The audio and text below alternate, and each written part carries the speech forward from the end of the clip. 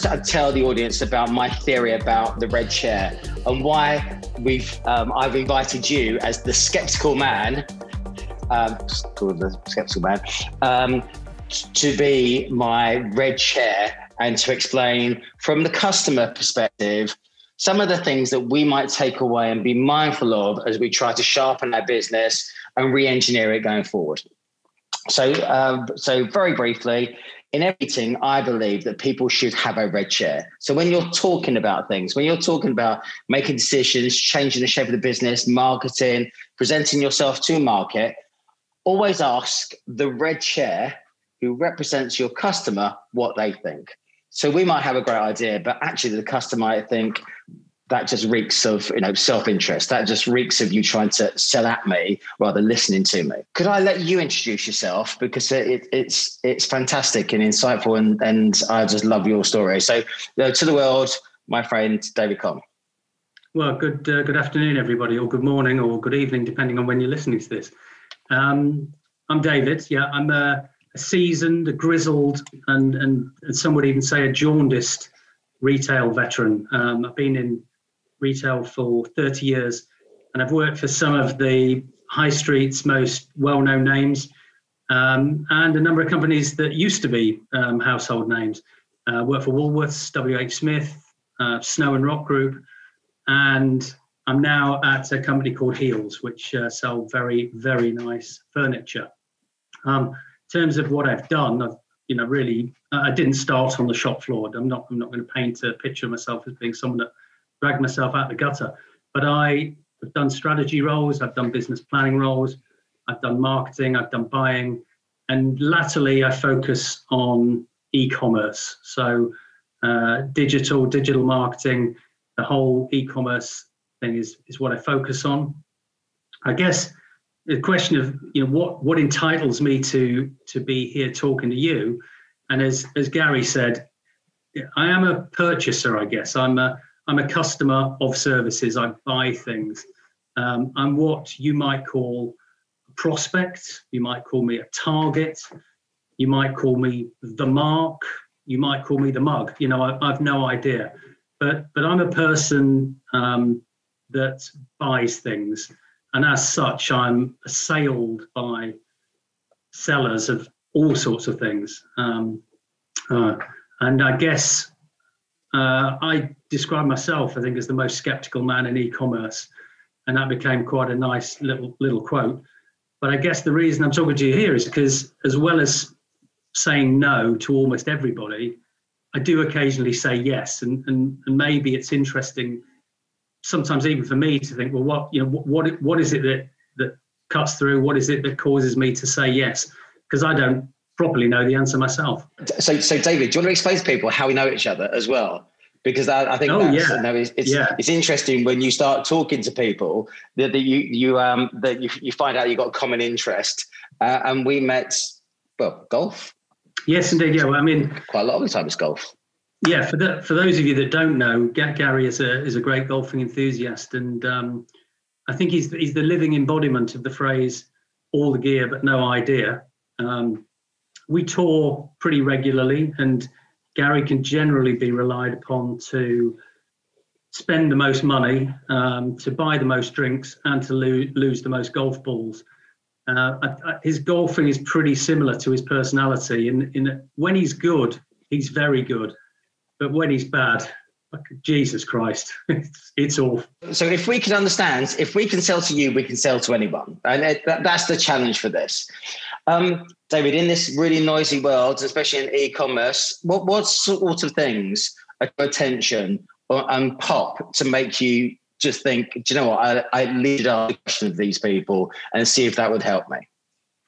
Yeah, I mean, look, there's a, there's a number of things, but I think if I was going to focus on one principal thing, it, it's to do your research.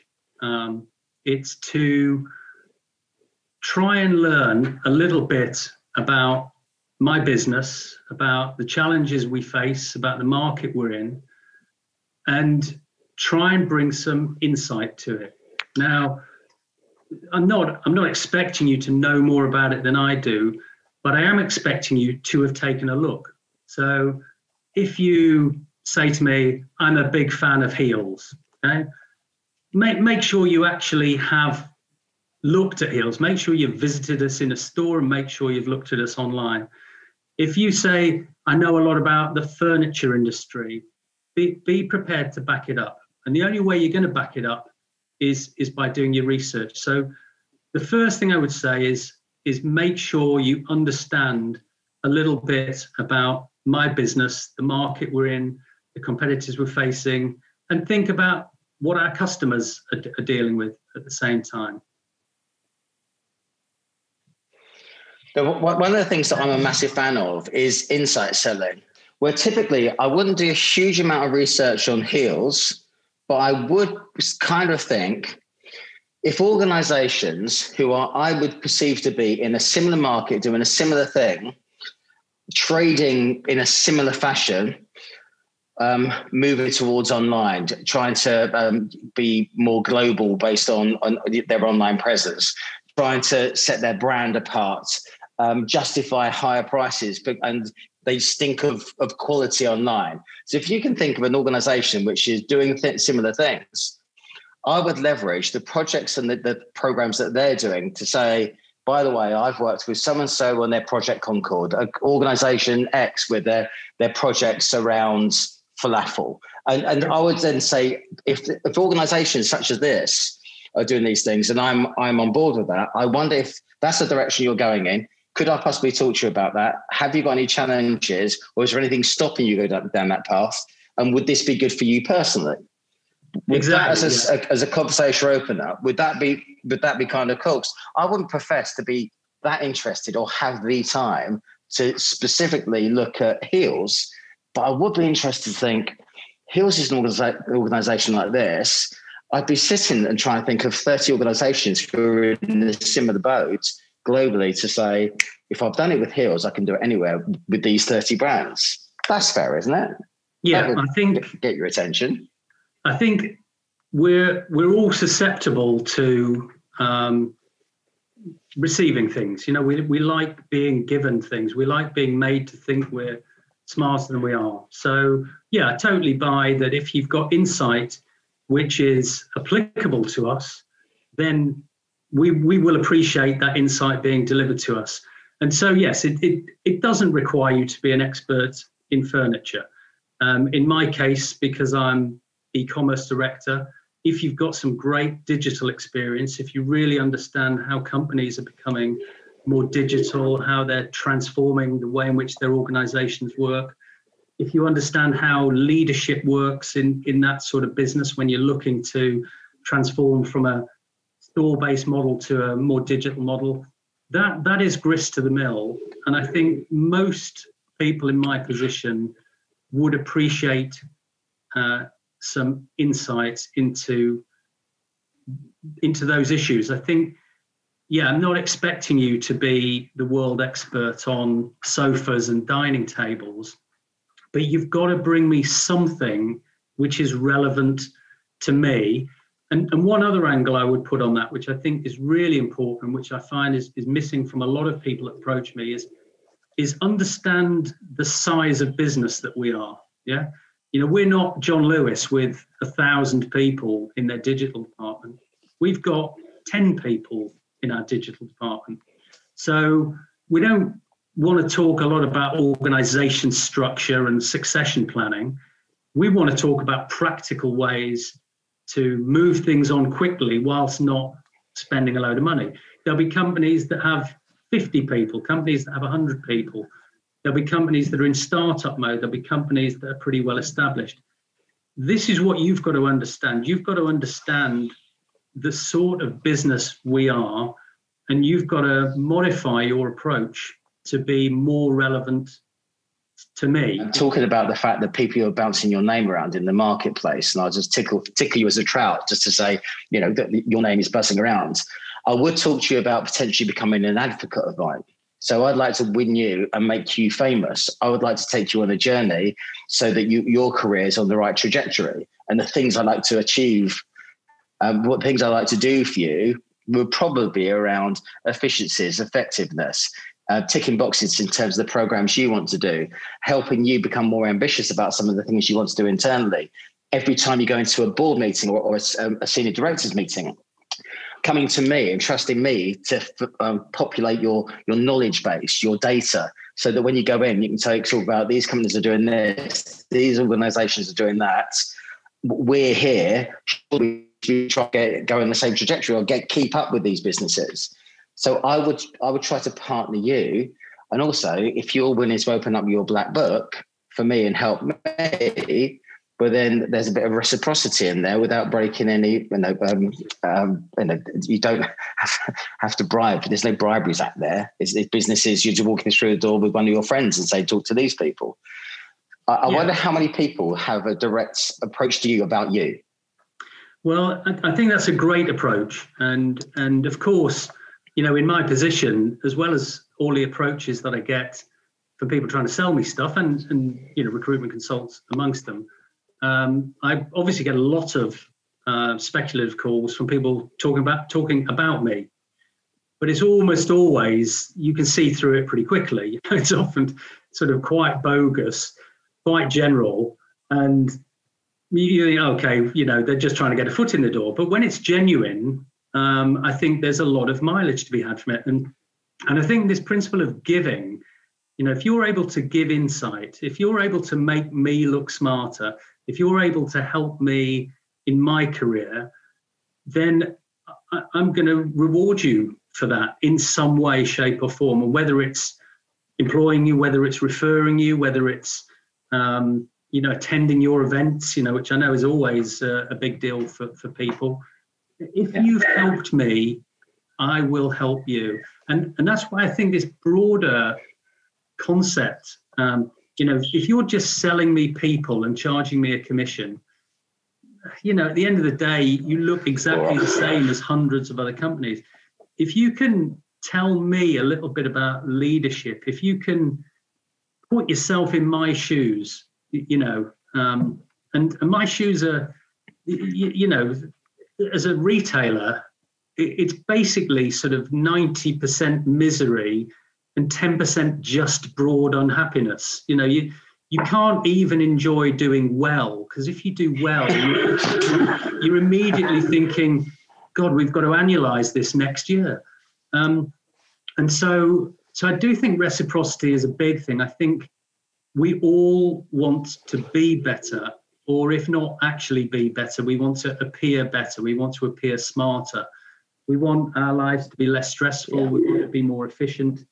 Uh, we want to be happier. So, you know, for, for guys in your industry, help help me do that, um, and and I will reward you. The, the other thing I would say, and, and this is something that has caught me a little bit unawares, but I find really um, effective, is create boards, create little non-executive boards. Um, you, know, if I've got on my CV that I'm a, a non-exec or I'm on the I'm on the advisory committee of Gary Goldsmith Incorporated, people are going to think, okay, well this this guy's got his finger in a few pies. What do you need to do in order to do that? You you can find seven or eight people like me.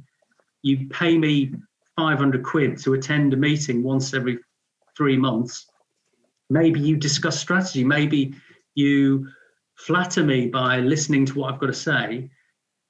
And yet, and suddenly you've got six or seven advocates out there who think Gary Goldsmith Inc. is is a really interesting business. Um, I've actually done that with a couple of tech companies, and you know, it was only afterwards I thought, bloody hell, they got me. You know, how did how did they manage that? if I wanted to win you as a friend and someone who would be an advocate for me and, and associated to the business, one, if you're always too busy to take my calls, you're going to start getting Domino's pizzas at lunchtime. Say, I've saved you a walk, get on the phone.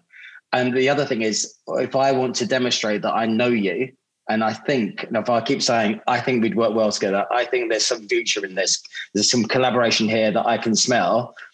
When I do get to see you, or if I don't get to see you, I'm going to send you a book and I'm going to send you a book, which I just think that's um, surrounded by idiots, right? Or something that I think would, would actually might just, just, just, you know, just do something that will break through those those barriers that, that will will will, will win you over.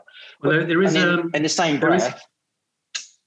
I was going to say there is um, there's a there's a company uh, in the digital marketing sector who have started an e-commerce book club, um, and they're doing exactly that. They're they're picking a book a month or a book every two months, and they've now got a mailing list of whatever 200 people who they send a book to. Now, how much does that cost? That's two you know, that's two grand a time, and suddenly you've got 200 people that not only appreciate having a book because everyone appreciates having a book they're reading the book they're commenting on the book they've got a reason to come back and um, and this book club's been incredibly effective you know a really nice creative marketing tool that means i feel i haven't used this company but but i feel far more um, inclined to them than anything else they might have done to get my attention I think so. Love that. I've, I've written down that, that that was this whole meeting was worth it just for that piece of gold. Suddenly, all my mates are going to be doing book clubs. So well done. Um, but let- let's let's flip it. Let's talk about the no nos. What things really just just grate your cheese? What things just make you think, oh, not in a million years am I working with you, Popeye? Um, well, look, there's the obvious things like um, you know, everyone's gone COVID crazy, haven't they? And so there's always this idea that COVID is some completely different phenomenon, which you have to have a viewpoint on. I mean, we're not past COVID by any stretch of imagination, but but we're not. You know, this for us, our stores will be open or they'll be shut. You know, that's about the main impact that COVID has. It's not it's not having a fundamental difference to the way in which my business does does business. You know, we're still selling furniture to people that want to improve their life. You know, have a nicer home. So I, find that that's too easy. It's too cliched. And in, in in truth, anything that's easy and cliched, anything that is just repetition from what from what I've heard elsewhere, is is uninteresting to me. I think I think the second thing is that that's a massive thing for me is is a lack of humility. Yeah. What what what I want to see more than anything else is is empathy. Yeah. Um, I don't mind confidence. Yeah.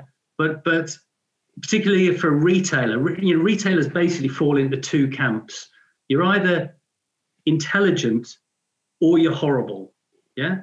And in some cases, you're both. Yeah. You're either somebody that sort of, you know, grew up buying things and was a real fucking hard case and wanted to screw the suppliers down to the ground, or you're somebody that was a bit more cerebral and can add up numbers and and thinks things through. But but in both cases, you hate to be told what to do. You hate you hate you hate the thought that anyone thinks they're more intelligent than you are. It, it and, and this is true of people generally, but it's particularly true of retailers. So so I want I want the right balance of humility and confidence. Yeah, I, I cannot bear it if somebody comes in and tells me um, this this is this is what you've got to do. Um, and as I say, it- it- it's not lying, but it's it's coming to me with a story that you can't actually back up um, is an ab- absolute no-no. You know, so I say whenever anybody says to me on, on LinkedIn or otherwise, uh, I think we could be really useful to Heal's. Let's have a 15-minute chat. Or I'm a big fan of Heal's. The first thing I'll do is I will say, okay, tell me the last time you were in Heal's. Tell me the last time you bought something. Tell me what it is you particularly like about us. Otherwise, and, and of course, it's a waste of my time doing that. But it but it brings me a certain amount of pleasure to, to just to challenge that that sort of pat. Oh, I really want to talk to you. I've really got something important for you. You know, it's so. I think you're, you're I, I think you're nicer than me because I've got a lot of people who are trying to connect with me, and they're just saying, "I'm trying to extend my network. Um, hopefully, we can connect." And I, I say, "What the fuck's in it for me? I, I don't need more friends. I, I, I want I want to connect with you because I want something. Yeah. that's just stupid. that does I mean, in, in, a sense, um, in a sense, yes, I don't mind. So, I don't mind it when it's overt. Yeah, I, do, I don't mind it if somebody says, I, "I have got something great." It's going to cost you. You know, you know, I want to sell it to you, but I think if you buy that. it, it's. I don't really mind that when it's a bit more overt, but but it's. You know, we're not stupid. We we can read between the lines of these things. You know, you're constantly trading today whilst at the same time trying to work out what you're going to do in two months time and then also thinking how do how do i build strategy so you, you're juggling in a, in a whole range of different areas and there's a bit of luck involved in approaches because at any given time i may be focusing on one or two elements of that my, my brain space is really limited and so i may be thinking about our brand proposition this week. That may be what's really occupying me. Or I may be thinking about our customer service, or I may be thinking about our display marketing on Facebook. That could be the thing that is really occupying the brain space right, you know, right now. And if you happen to be the person that's lucky enough to be in that particular field at the time when I'm really thinking about it, you know, that, that's a lucky co- coincidence. Um, I think again, I just come back to what I said about about insights. Is if you're going to apply insights from other areas, if if you're going to um, try and create something that has cut through, it's it's got to be something that means something to me, and therefore you do have to understand my business. You have to understand um, how we work. You have to understand the, the issues that I'm dealing with.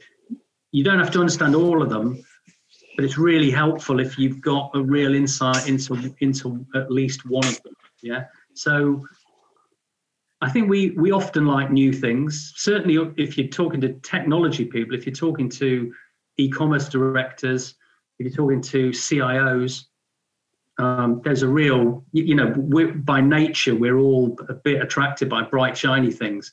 If there's one thing that really annoys me, it's when I get an approach and it says, I'd really like to talk to you about your business and what your business issues are. And I think, fuck, why, why would I want to do that?